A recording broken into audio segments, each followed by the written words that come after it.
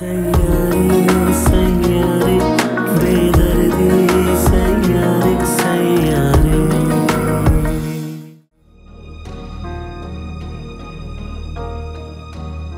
सोच रूही, कुछ सोच। वरना इस मूसा नामी खोटे से बंद करना सारी ज़िंदगी गुजारनी पड़ जाएगी।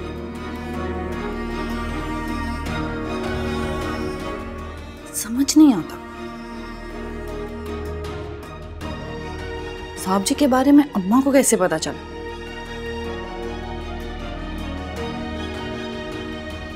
अब तो अम्मा भी मुझ पर रियायत नहीं करेगी। इस झंझट से निकलने का कोई तो रास्ता निकालना ही पड़ेगा।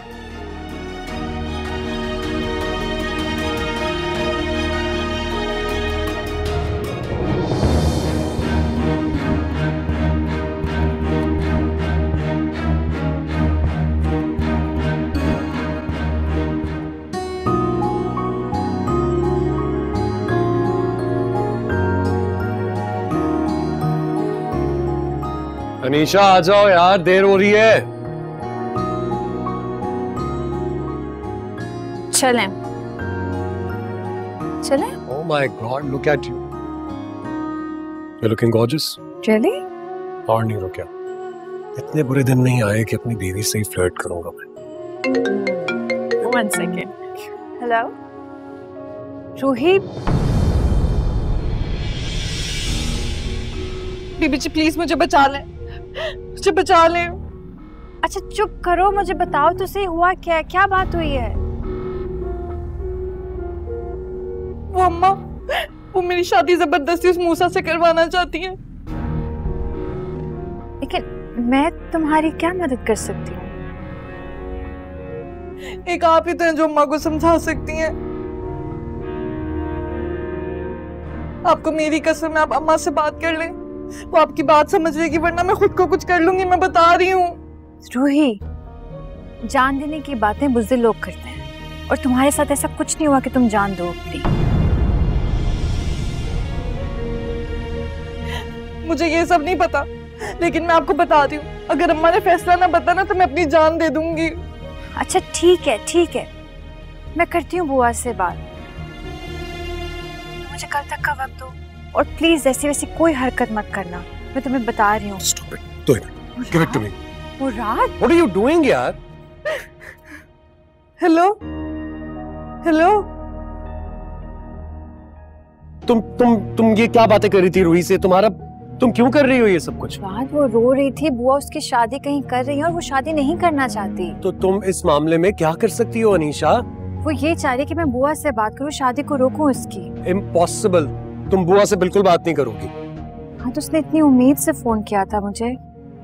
यार this is none of our business why don't you get it अच्छा प्लीज़ अपना मूड तो ना खराब करें। मूड मेरा खराब हो चुका है। मुराद। गेट खोलो।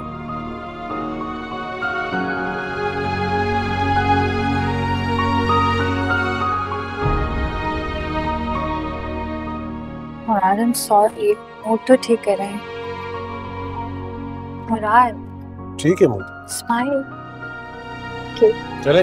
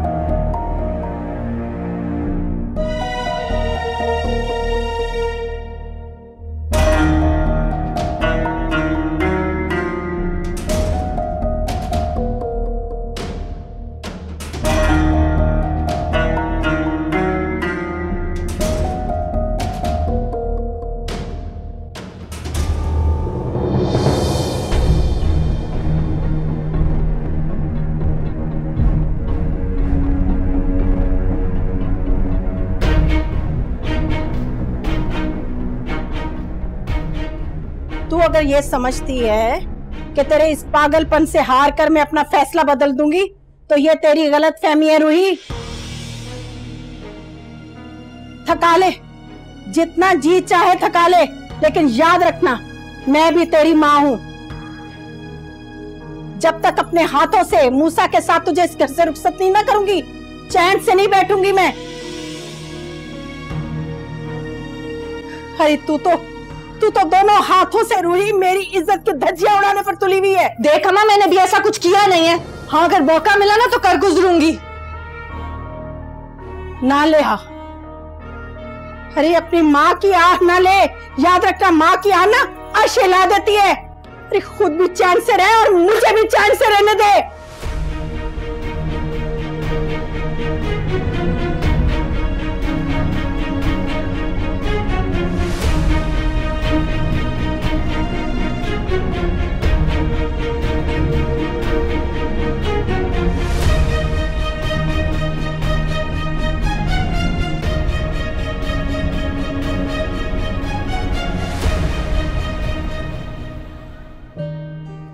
ठीक हो? क्या हुआ? हाँ बस वैसी मोच आ गई थी घुटने में। बैठो ना। अच्छा हुआ तुम लोग आ गए? यू लुक वेरी प्रिटी हम तो डिनर पर जा रहे थे लेकिन अचानक मुराद का मूड खराब हो गया। क्यों?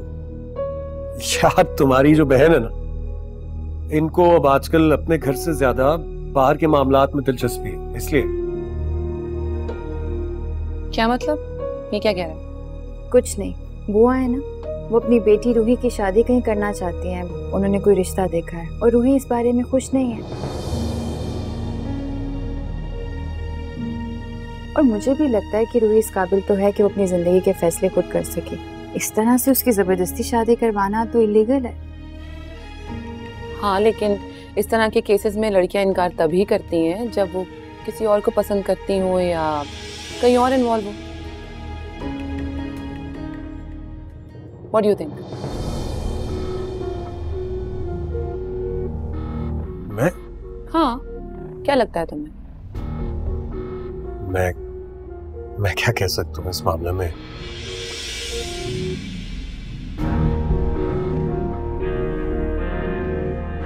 I, I think it's a it's a pointless discussion. Excuse me. क्या हुआ मुराद को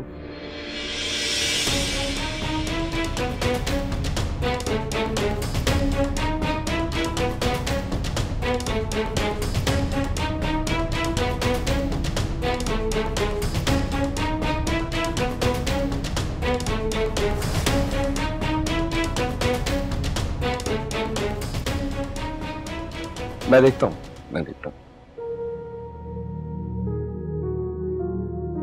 मैंने क्या कहा? कुछ नहीं ये बताओ नी को क्या हुआ? हाँ नहीं कुछ नहीं वो आई ट्विस्टेड माय नी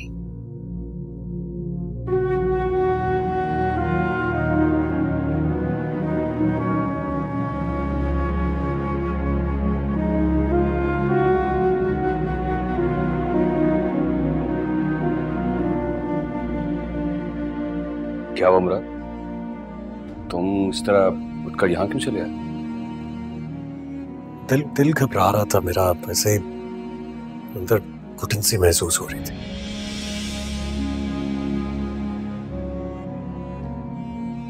घुटन वहाँ नहीं। तुम्हारे अंदर कहीं है। क्या मुश्किल है? बताओ मुझे। प्रॉब्लम में फंस गया हूँ। यार कैसी प्रॉब्लम मुराद? खुलकर बताओ मुझे। यार वो बची वो हाँ।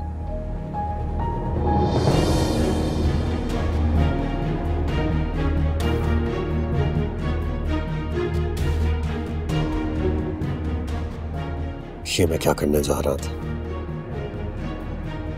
फजी मेरा दोस्त ही सही लेकिन अनीशा का भाई भी तो है। ये कैसे बर्दाश्त कर सकता है कि मैं किसी लड़की के साथ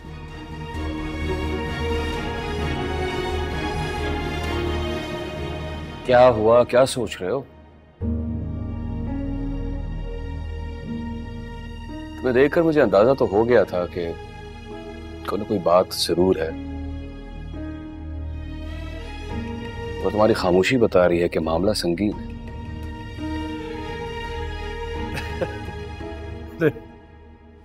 नहीं यार, क्या हो गया? वो दरअसल अनीशा को लेकर बहुत परेशान हूँ। और मुझे देखो ना, इतना परेशान हो रहा हूँ, उसका भाई तो मेरे सामने खड़ा है। तुमसे क्यों नहीं बात कर लेते? यार, अनीशा को समझाओ। ऐसे ही हर अनजान इंसान पर भरोसा करने लगती है। मैंने कई बार समझाया है कि इतना एतबार करना, इतना भरोसा करना अच्छी बात नहीं है। कहीं उसकी बहुत भारी कीमत ना चुकानी पड़े, लेकिन मेरी बात मानती नहीं। अनिशा बचपन से ऐसी ही है, मुराद।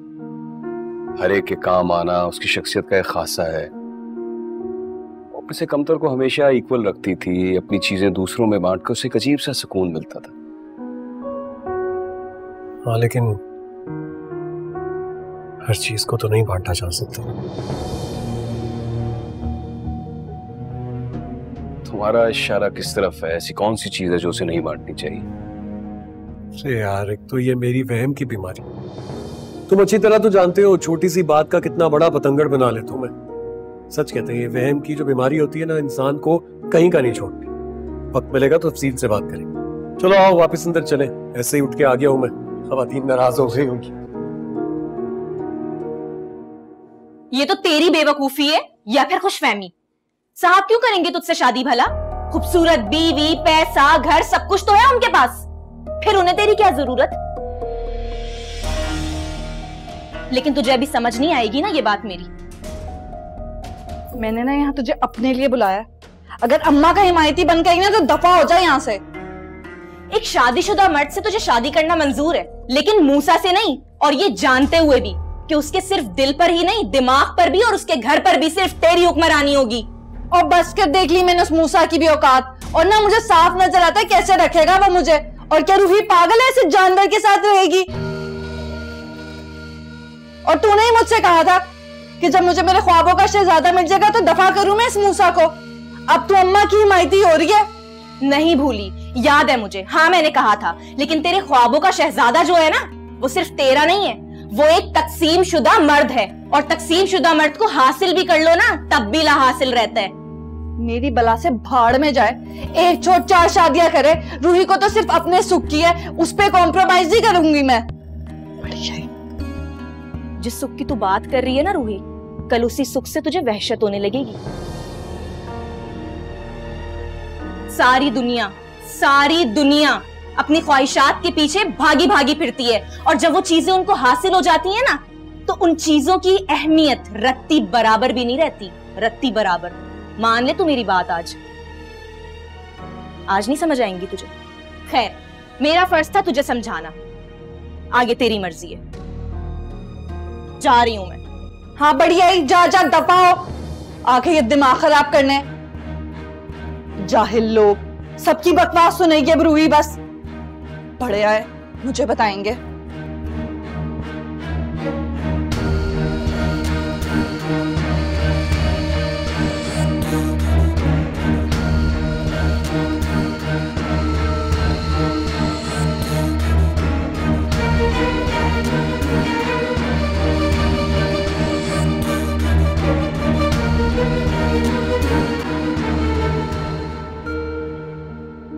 ये मिला के हो गए पूरे ग्यारह सौ। बाकी ये हैं। और करीब शादी होने वाली है तो ये सीधे पहले बाकी के बाद में देख लेंगे है ना? अम्मी ये सब क्या है? आपने सारे तो एम्ब्रॉयडरी वाले सूट निकाल दिए। है बेटा शादी ब्याह में तो ऐसे ही पहने जाते हैं जर वर्क कपड़े। और फिर शादी के बाद दावतें भी तो इतनी होती है ना उसमें काम आ जाएँगे। हमें ये क्या आपने सब कुछ तो रूही के लिए खरीद लिया? अपने लिए तो कुछ लिया ही नहीं। अरे ऐसा हो सकता है कि मैं अपने इकलौते बेटे की शादी में कुछ ना खरीदूं। मैंने अपने सारे कपड़े ना सफूरा को सीने के लिए दे दिए। मैंने कहा इतना बोझ तुम पे थोड़ी डालूं है? बहुत काम है तुम्हारे लिए। अच्छा वैसा करती हूँ कि मैं इन कपड़ों के लिए ना एक और शॉपर लेकर आती हूँ और तुम्हारा टिफ़िन भी लेकर आती हूँ है? चलो। अभी आई।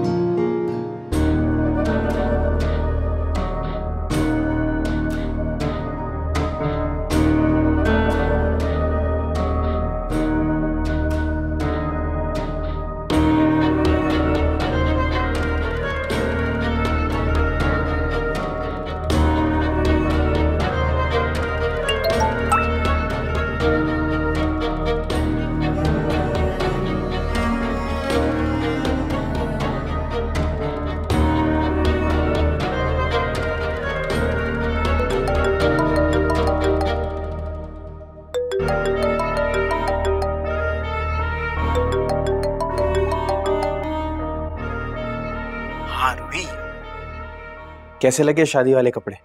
मैंने नहीं देखा। अब देख लो। अगर समझ नहीं आते तो बता देना चेंज हो जाएँगे।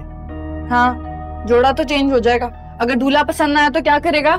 खुदा का खौफ करो रोई अब इतना भी बुरा नहीं। खुशफहमी है तेरी। इससे भी कहीं ज़्यादा बुरा है। अच्छी सूरत के साथ साथ अच्छी किस्मत होना भी बहुत ज़रूरी है। अच्छी किस्मत तो है। देखो अगर किस्मत अच्छी ना होती तो तुम्हारा साथ कैसे मिलता?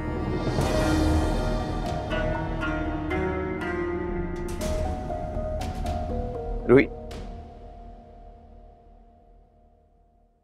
हाँ कह ले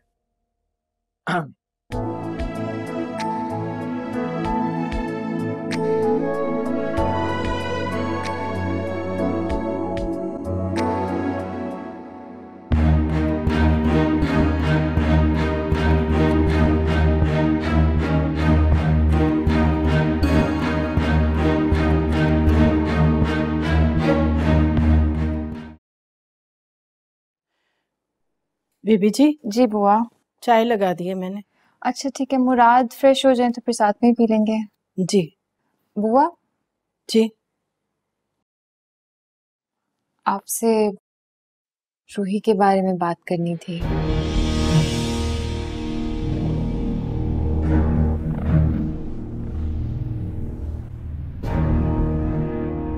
जी। जी कहिए बीबी जी। कल रूही का फ़ोन आया था। बहुत परेशान थी, बहुत ज़्यादा रो भी रही थी। आप इस तरह से रूही की ज़बरदस्ती शादी कैसे कर सकती हैं? आपको नहीं लगता कि रूही के साथ बहुत बड़ी ज्यादती है?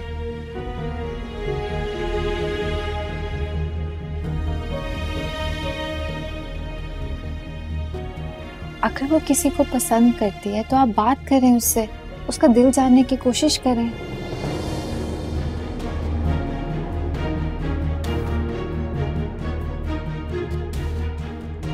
उसके ख्वाब बहुत बड़े बीबी जी। आसमान को छूना चाहती है वो।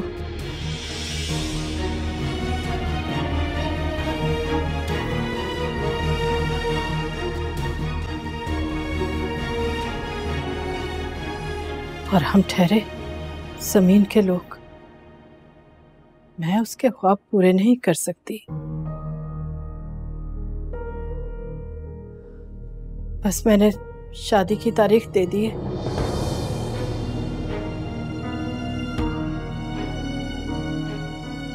मैंने जबान दे दी है, बीबी जी। और अपनी जबान से फिरना मेरी फितरत नहीं है। पता नहीं लोग कैसे भरोसा तोड़ देते हैं।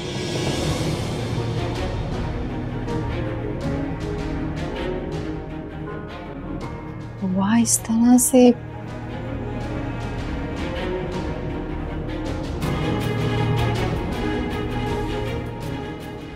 अनीशा?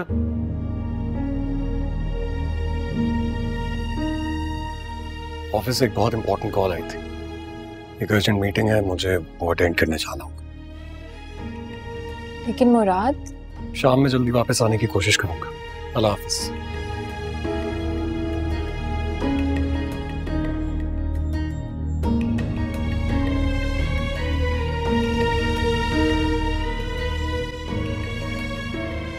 बीबी जी आप फ़िक्र मत कीजिए। मैंने जो भी फैसला किया ना, बिल्कुल सही किया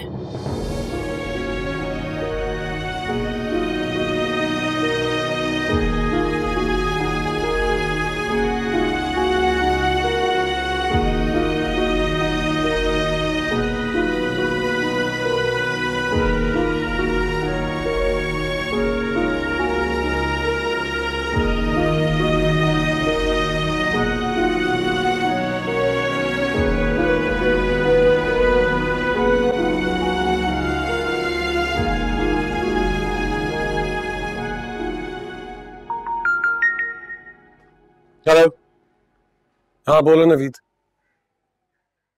क्या? तुम इतने केयरलेस कैसे हो सकते हो? वो इतने बड़े क्लाइंट हैं हमारे और तुम तुम कल ही मेरी उनसे मीटिंग लाइन अप करवाओ। मैं खुद इस मामले को हैंडल करूँगा। मुझे लगता है कि तुम लोगों के बस की बात नहीं।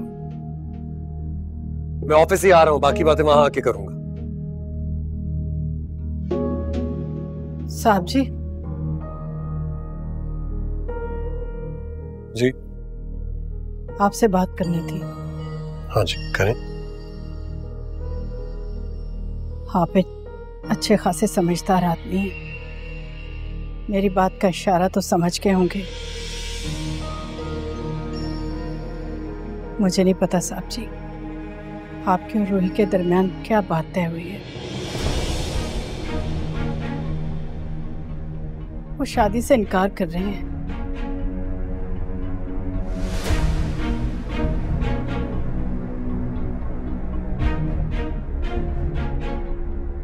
क्या कह रही हैं आप?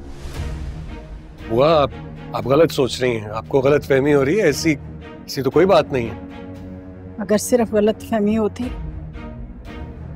तो आप यहाँ खड़े होकर इस तरह वजाहत ना कर रहे होते, साहब जी। बल्कि मेरा और मेरी बेटी का खड़े खड़े हाथ पकड़कर इस घर से निकाल देते।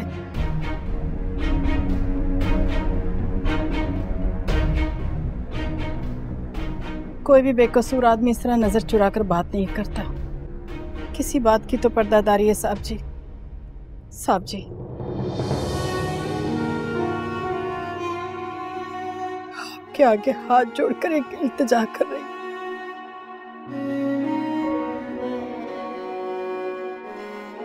रूही से दूर हो जाए। उसकी शादी में ही दोनों घरों की भलाई है।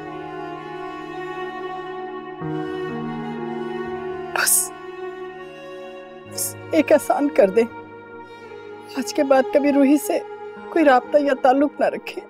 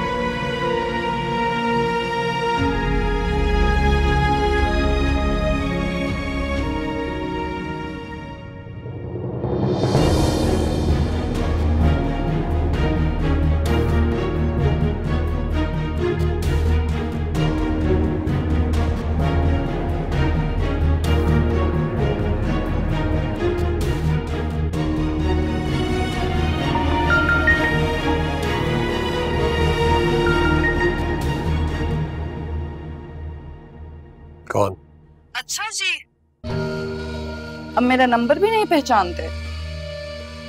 मैं अब तुम्हें भी नहीं जानता।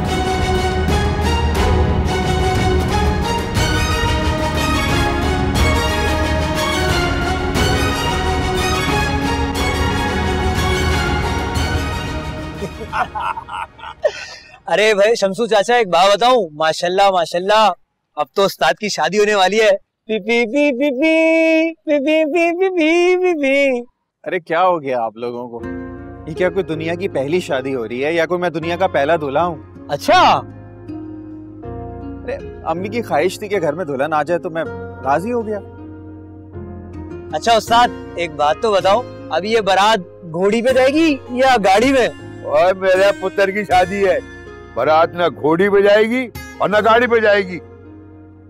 और मैं अपने पुत्र को अपने कंधों पर लेके जाऊँगा। हाँ। उस्ताद चेक कर लेना कहीं शमसू चाचा के कंधे वक्त पे धोखा ही ना दे जाए। बूढ़े जो है पता चला वक्त पे शर्मिंदगी हो जाए। अबे बुढ़ा होगा तेरा बाप। और अभी इन कंधों में बड़ी जान है। और एक कंधे पे अपने पुत्र को बिठाऊँगा और एक कंधे पे तुझे तूने बखोल समझा हुआ ये बात। अच्छा शमशू चाचा खुशी का मौका है। दो कप चाय तो पिला दो मलाई वाली। अबे तू तो हमेशा नजीदा का निधि दे रहेगा। बिल्कुल सही कहा आपने ऐसा ही है। चाचा दो बिस्किट भी मंगवा लेना। उस्ताद खुशी का टाइम है ना।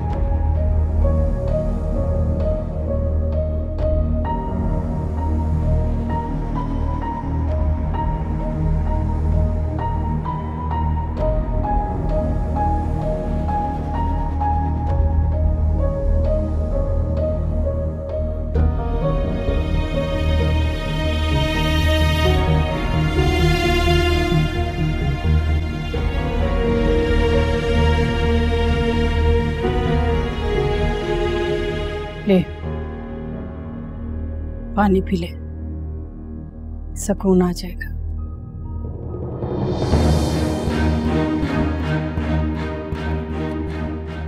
पर ये सिर्फ़ पानी नहीं है। इसमें जहर मिला दिया मैंने।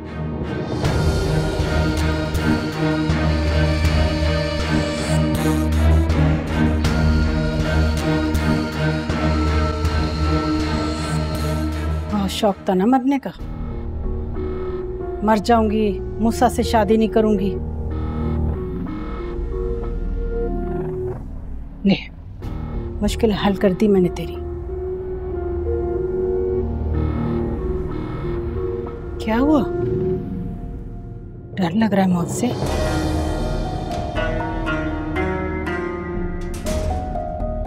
सिर्फ़ थोड़ी सी तकलीफ़ होगी।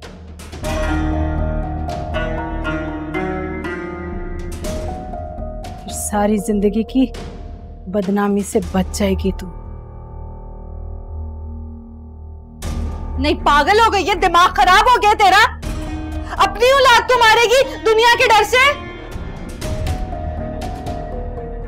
दुनिया के डर से नहीं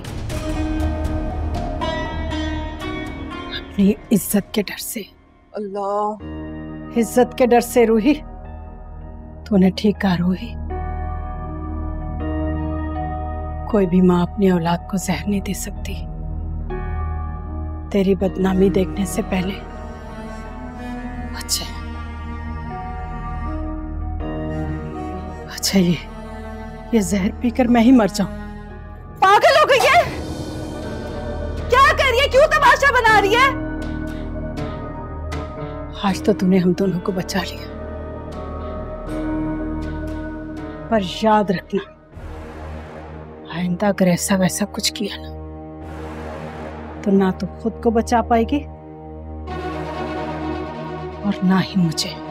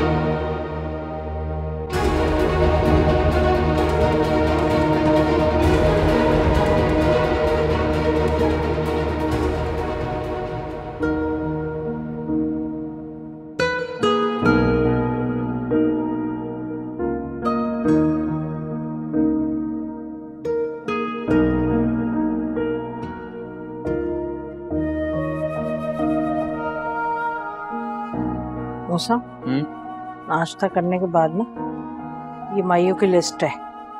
ये सारा सामान लेकर आ जाना। अरे अम्मी एक काम कीजिए ना इकबाल को फ़ोन करें। वो ले आएगा। इकबाल के बस का ये सब नहीं है बेटा। उसे कुछ ये सामान नहीं लेना आता। तुम लेकर आओ। और हाँ गजरे ताजे और अच्छे लेकर आना। वाह वाह वाह वाह क्या बात है। देखें जरा अम्मी को। बड़ी फ़िक्र है दुल्हन की हाँ? हाँ फ़िक्र क्यों ना हो? आखिर मेरे इकलौते बेटे की शादी है। अरे सारे ना सही, कुछ तो अरमान पूरे करूँगी ना अपने। मेरी अम्मी, आप दुनिया की सबसे अच्छी अम्मी है।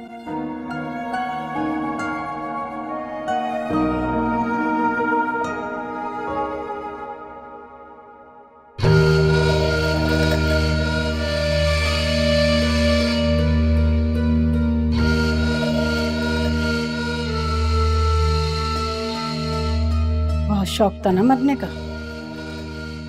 मर जाऊँगी, मूसा से शादी नहीं करूँगी। ले मुश्किल हल कर दी मैंने तेरी। क्या हुआ? डर लग रहा है मौत से।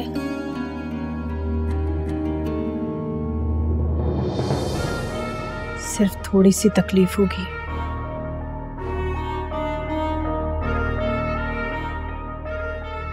सारी ज़िंदगी की बदनामी से बच जाएगी तू।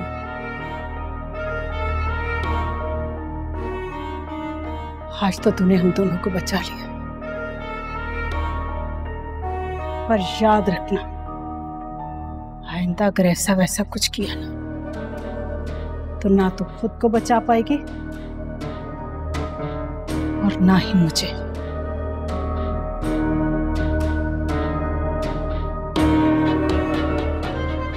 इस शादी से इनकार किया, या तो मुझे मार देगी या खुद को।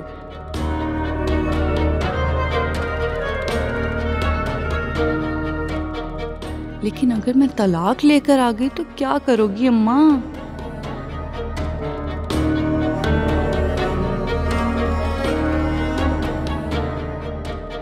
फिर तो सबर कर लेगी ना? और मेरी जान भी छोड़ देगी। फिर मैं अपनी ज़िंदगी के लिए खुद बाख्तियार हो जाऊँगी।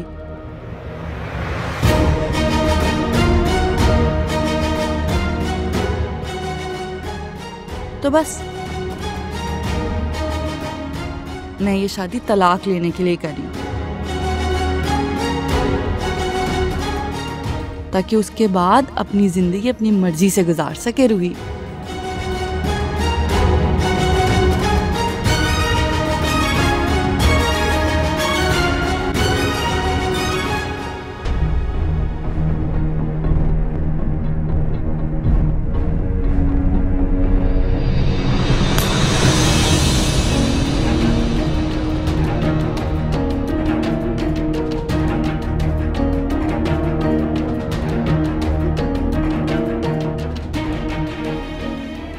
क्यों तुमने ये सब कुछ?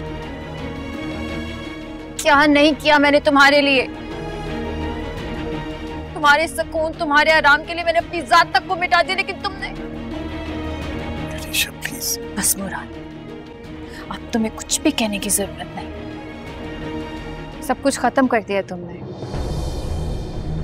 एक औरत सब कुछ माफ़ कर सकती है। लेकिन शोहर की बेवफाई शोहर की बेवफाई माफ़ नहीं कर सकती। और मैं तुम्हें कभी माफ़ नहीं करूँगी, मुराद, कभी नहीं। सुन ले मेरी अर्जी, आगे तेरी जो मर्ज़ी। मैं तन्हा था, तन्हा ही रहा।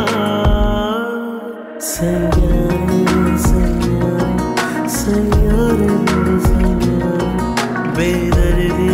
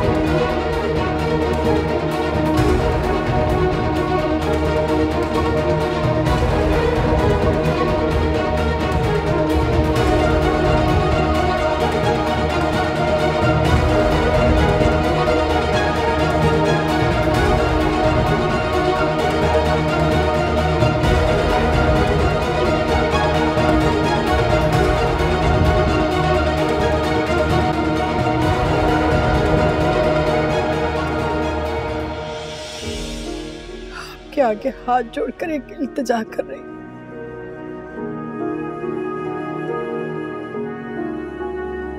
रूही से दूर हो जाए। उसकी शादी में ही दोनों घरों की भलाई है। बस। बस, एक एहसान कर दे। आज के बाद कभी रूही से कोई राबता या ताल्लुक ना रखे।